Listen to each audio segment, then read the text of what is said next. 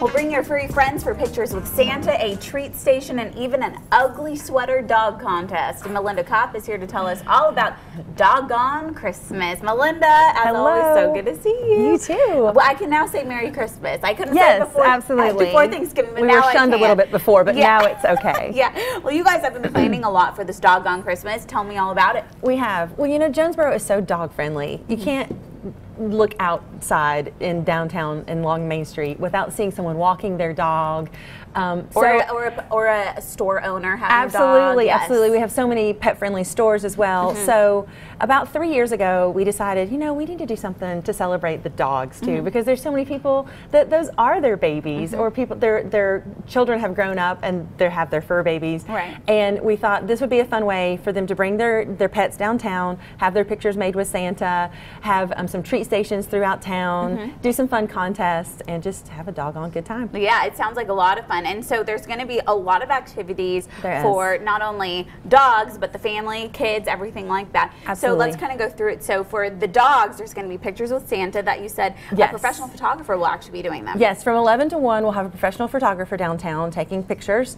And for uh, a minimal fee, you can get a digital copy of the picture sent to you. And all the proceeds will actually go to help fund the Jonesboro Dog Park, which we're in the process of getting going. And we'll also be going, some of the uh, contributions will be going to the Washington County Humane Society. Last year, we raised over $700 for the Humane Society for the Wow. photography. And you get a digital picture of your fur babies in Yes, Santa, right? absolutely, That's wonderful. yes. And then, of course, you guys are going to have uh, several contests going on yes, as well. we are. Um, in the so in the beginning, we're going to be having the pictures with Santa. We'll Mm-hmm. also be having a treat station. We have Sticky Paws Bakery that will be doing custom pet treats, Oh. and you can actually ice your own dog treat Oh, cookie great. I love um, to decorate them a little Christmas treat.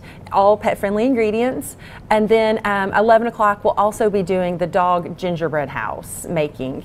Um, and that will be at the Storytelling Center. It is free, but you do have to register online to get a spot in that. And we are still taking registration. It's jonesborotn.org.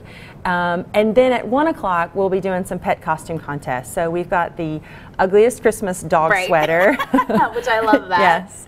The best holiday pet costume. Okay. And the pet owner look-alike.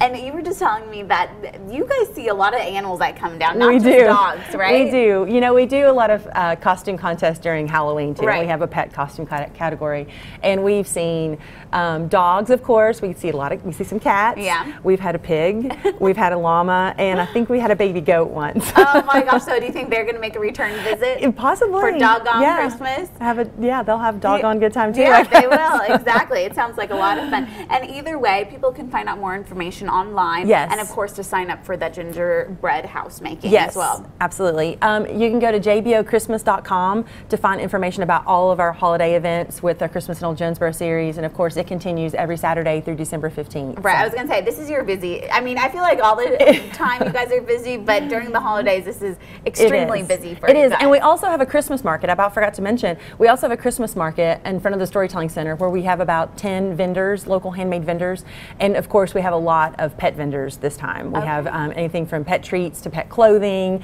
to handmade dog bowls to a little bit of everything. So it's perfect. You can get into the holiday spirit with your furry friends and, of course, the rest of your family as well. It's such a great time to get everyone involved this It time of is, year. it is, All right, and a lot of great shopping and things to do downtown. Exactly. And of course, some great presents for your dogs as well. Absolutely. well, thanks again, Melinda. We always you. appreciate For more information about Doggone Christmas, it's all happening Saturday, December 1st. You can go to jonesborotn.org because it's all kicking off at 11 a.m. in downtown Jonesboro.